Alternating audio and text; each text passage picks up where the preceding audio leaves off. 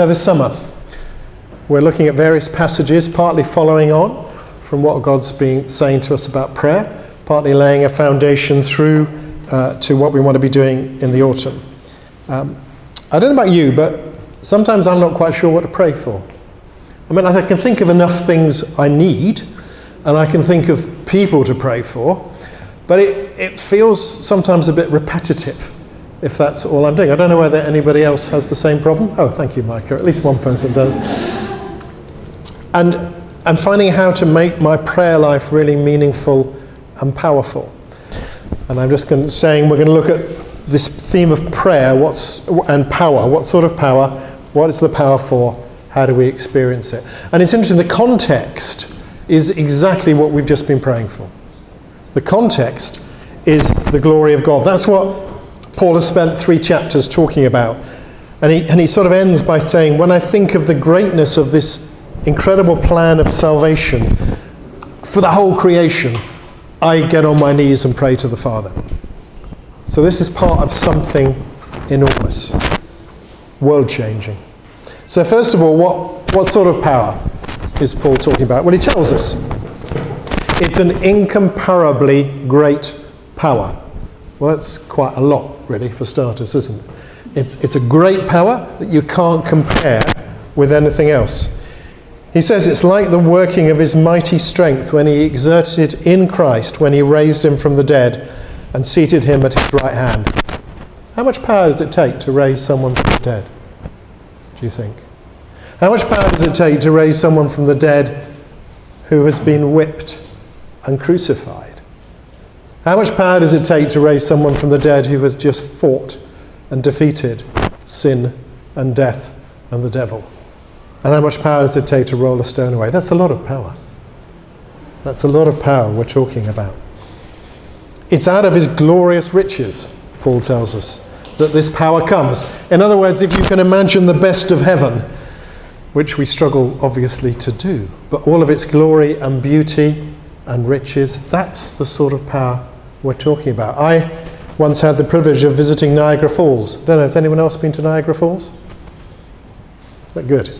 I recommend it. And at one point, you can walk into a sort of walkway uh, halfway underneath the falls. The, the rock is one side of you, the water falls the other side of you. And it is a torrent. It is huge. It, the noise, the spray, you, you can hardly even think of the power that comes over those falls. And of course, that's nothing really compared with the incomparably great power that we're talking about today. The word is dunamis, and preachers will often say we get the word dynamite from it. Well, we do, but of course they didn't have dynamite in those days. So when they used the word dunamis, they were talking about a group of oxen pulling a plough through heavy soil, doing something that a man couldn't do on his own. And they'd be talking about a boat with a whole row of rowers on each side when there's no wind, rowing. They're talking about a strong, consistent, relentless, determined power. That's what we're seeing here, not a flash in the pan. And Paul is aware that to live the Christian life, we can't do it on our own. We need more than our own ability. A number of you will know, having come to our house, we have a fairly sizable lawn which is lovely, but lawns need cutting. So, a number of years ago, I bought a lawnmower. And I had a choice. I could buy one that you just push, or I could buy one that's power assisted. Now, I thought I needed the exercise, so at that point, I bought one that you can only push. There's no power in it. I regret that a bit now. As life has gone on, it'd be nice to have a power assisted one. But that's not a bad analogy of our Christian life. We could be trying to mow the lawn in our own effort, or we could be using a power assisted mower. You still have to direct it, you still have to turn it on. It doesn't happen automatically, but power kicks in when you start mowing, which sadly with mine it doesn't. I just have to keep pushing.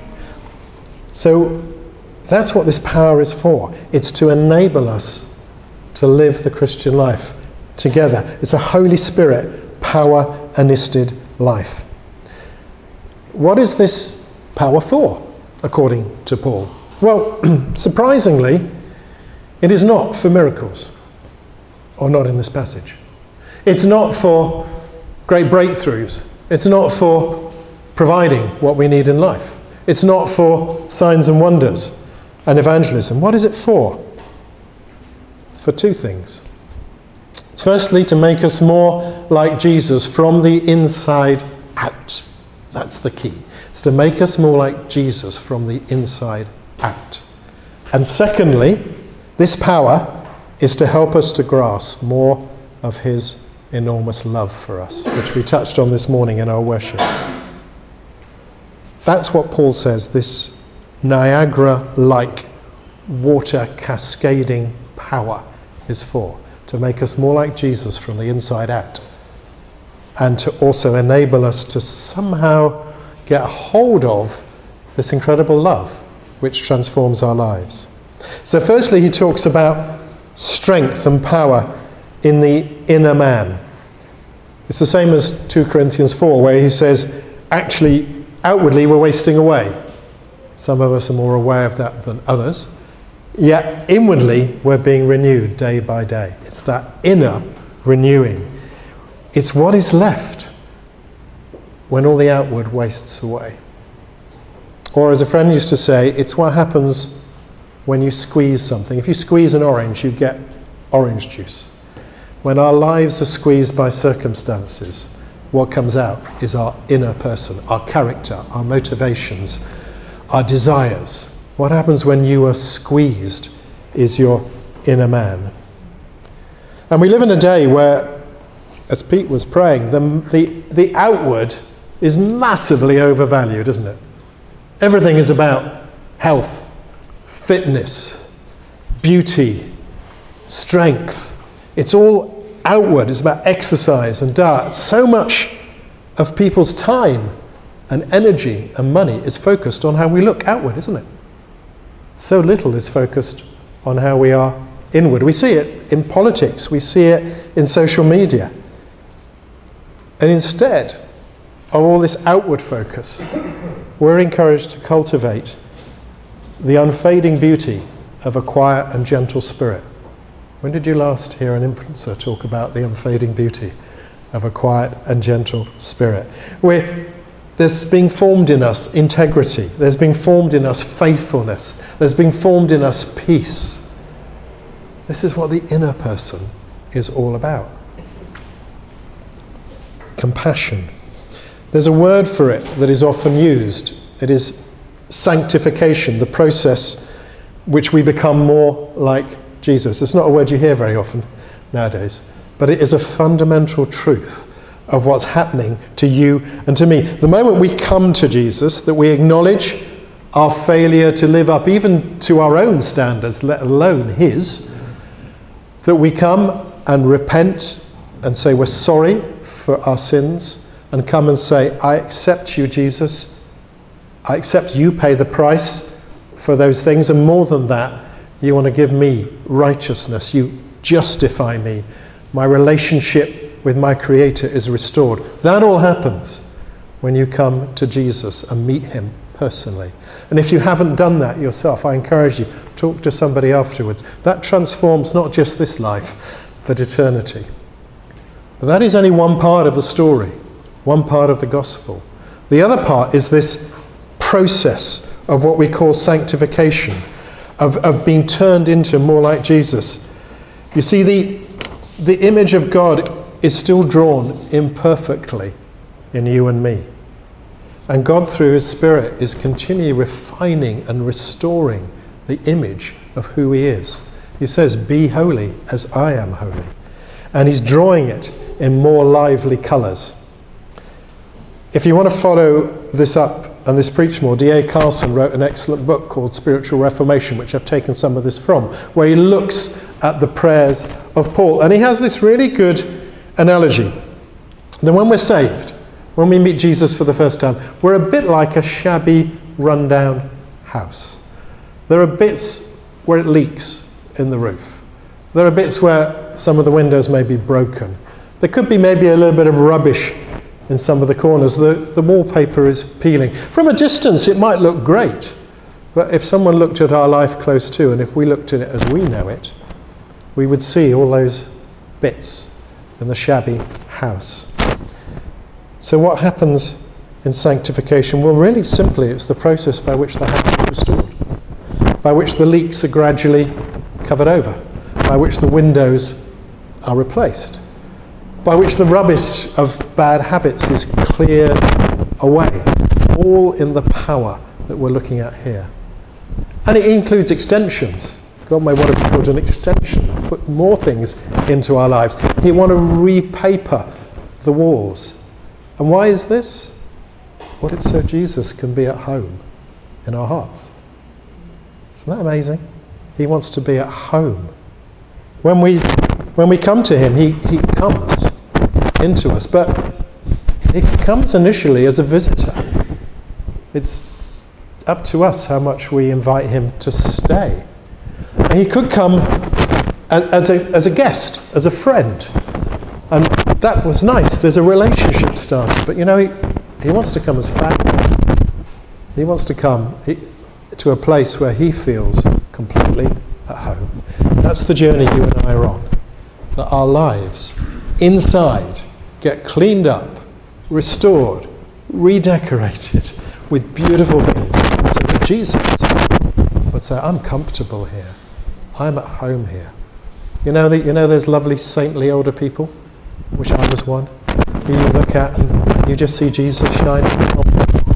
That's because he's at home there because they've allowed this process, this power, to slowly change them from the inside out.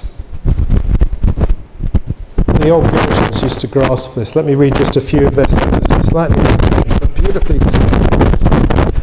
This is Thomas Watson. He says he not only washes away sin, but he cleanses us with purity. Sanctification is heaven begun in the soul. I love that. Begun in the soul. A sanctified person bears not only God's name, but increasingly his image. It is a beautiful thing. It makes God an angel. Right? That's what I'm trying to get my head around. Sanctification, becoming more like Jesus, somehow makes God angels fall in love with us. Holiness is the most sparkling jewel in the Godhead. The Spirit of God in a man or woman purifies, perfumes them with holiness, and makes their heart a map to heaven. Do you want to be perfumed with holiness? We don't talk about this very much, I don't think, in our instant world.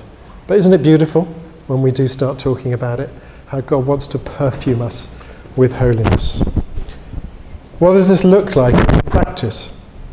I encourage you to read Colossians 3 verses 5 to 17, where Paul explains what this looks like in practice. He says, he talks about putting to death things like greed, impurity, anger, lying. He talks about putting on things like compassion, kindness, gentleness. That sort of puts the flesh on what this is going to look like for you and me. All done from the inside out by the Spirit's power. For it's God who works in us to work and to will according to his good purpose. This is a combination. It's a radical, breathtaking thing that God wants to do in our lives. We need to cooperate with him, but it's his power that does it.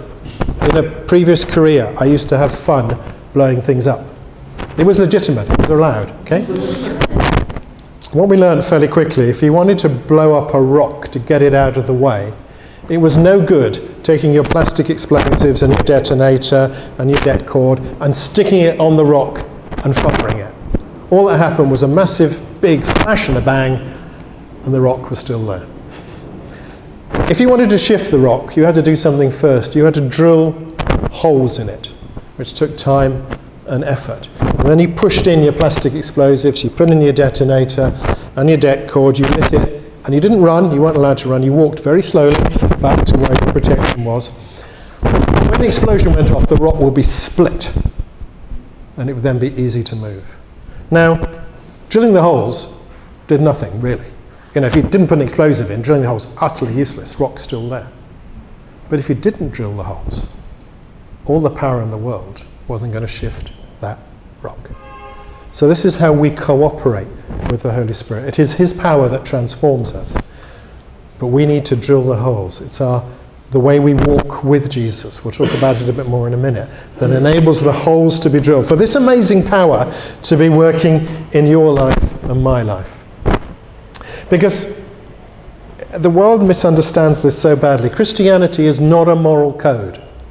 It is not about a set of rules of what is right and wrong. It's not about coming to God and trying to be a good person. That is not Christianity. That is religion.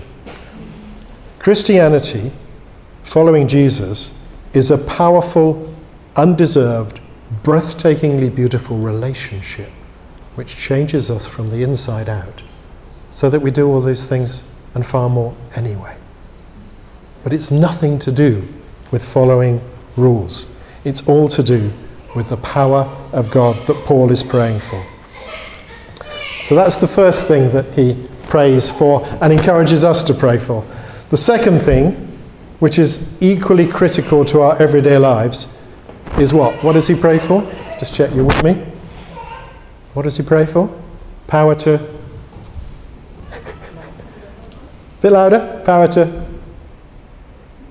We better get the passage back up. Power to grasp the love of Christ, to know it in great measure.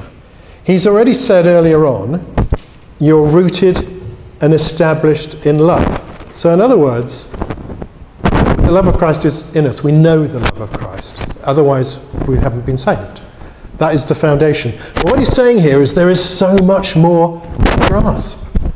And in grasping it, and we sang it again this morning, it transforms how we see our challenges, it transforms how we see our lives, it transforms how we see our potential because the love of Christ becomes bigger and bigger in our lives. It's about knowing it experientially. Paul struggles to express this, so he uses these four words. He talks about the breadth. In other words, love of Christ affects, empowers, changes every area of our lives our families, our work, our relationships, our dreams, the love of Christ is the foundation for all of these things to be different. The breadth is bigger than we can imagine. What about the length? Well, that says to me the love of Christ was there when you and I were conceived in the womb, through to the day we die, and beyond. It's right from beginning to end.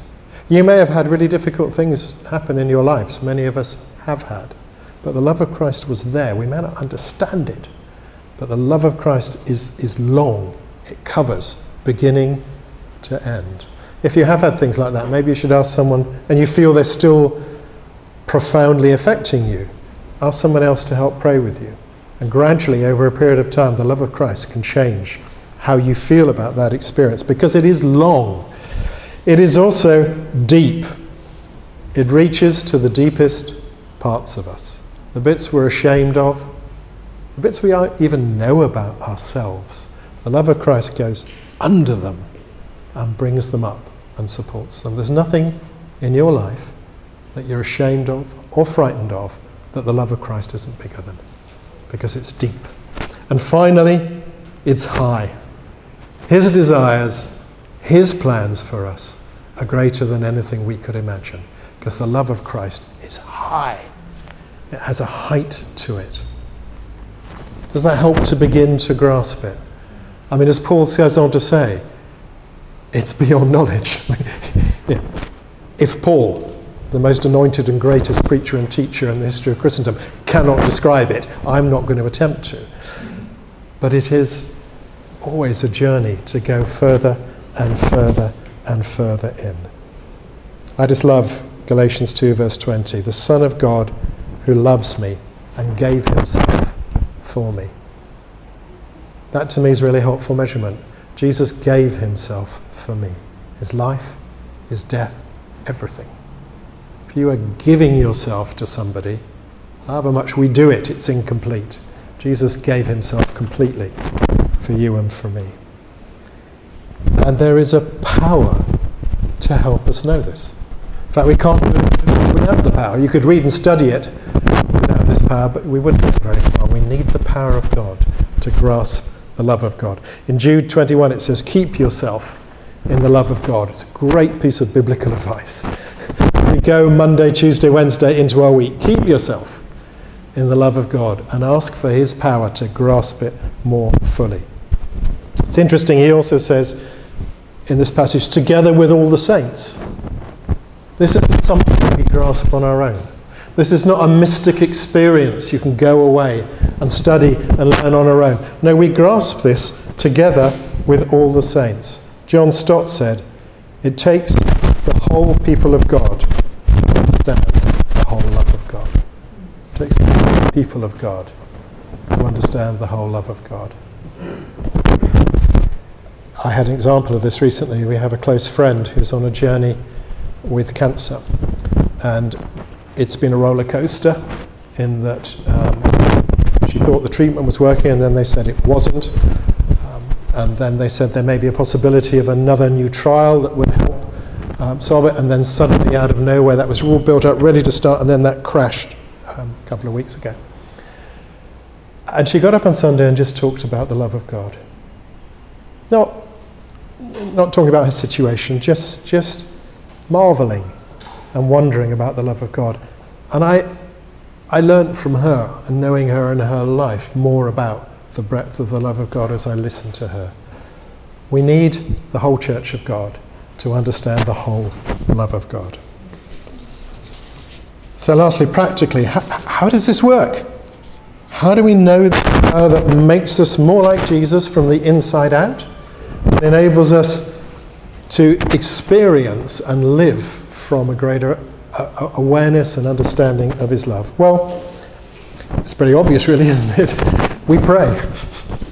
That's what Paul says. This is one of the things he mainly prayed for everybody else. So it's a pretty good tip. Let's pray for ourselves. Let's pray with devotion, as it talks about Acts chapter 113. The early church prayed with devotion. Get hold of this verse, write it out, pray it consistently, continually. Let's pray rooted in Scripture. That gives, that gives edge to our prayers, gives content to our prayers, just as like this passage does. Read Scripture, meditate on it, memorize it. That will deepen our praying. We'll know more of this power. Do it in faith. Expect something to happen. I think I've been on a bit of journey of prayer and I made a bit of progress even in this last year. It's hard when you keep praying for things and they don't change, isn't it? and you wonder what's going on, you wonder whether it makes a difference. I think, uh, and this is just the grace of God, I, I think I've just come to the point where I just know that every prayer makes a difference. I just know, they all do. They all make a difference. I mean, they must do, aren't they? Because God's our Father and He's listening. We may not see the difference. and somehow it sometimes seems to need a lot of prayers before the scale tips. But every one counts. And I just feel that now. It's, I find it enormously helpful in my praying. Praying for things that feel a bit stuck. Uh, and I pray and nothing happens. It's all right. It's one prayer closer. There's this picture in Revelation about the prayers of the saints filling a bowl, a bowl of incense. And I think it's what they're doing. They're filling a bowl. They're like on a scales. I'm sure this is an inadequate analogy, but it helps me. They're on the scales gradually, and at one point, something's going to tip. I don't know when, but every prayer counts. So pray expectantly, pray filled with the Holy Spirit. In Galatians it says, walk with the Spirit. The Spirit empowers these prayers. So, just to end, why does this matter so much? Why are we looking at this today? Well, Paul is very clear about the ultimate purpose for this prayer. And you know, it's not about our nor is it primarily to help us to be our authentic selves, whatever that might be. I want to be my authentic self, to be honest, I'd rather become more like Jesus. Nor is it for our health, nor is it even really for our self improvement. So much of, of stuff tends to be now about self improvement. All of these things may happen, but that's not what it's for. It's for what we prayed for at the end of our worship. It is for the glory of God in the church and in Christ Jesus. That is what this prayer is for. Because as we become more like Him, God is glorified in this church and in this nation. As we become more caught up in, empowered by the love of Christ, God is glorified in this church and in this nation. This prayer is a big prayer. It's a prayer for the glory of God. Paul says it's in the church that God's glory is shown, and it's in Jesus being proclaimed. That's our heart, isn't it? So it's amazing. I didn't know we would pray that at the end, but this ends up just where we were a few minutes ago. This ends up saying it's a big prayer. It's a prayer that the glory of God is going to be known in us because there is an amazing power available. Not just strength, but power to live gradually, stage by stage, day by day, increasingly beautiful lives, increasingly full of the love of Jesus. I think that's amazing.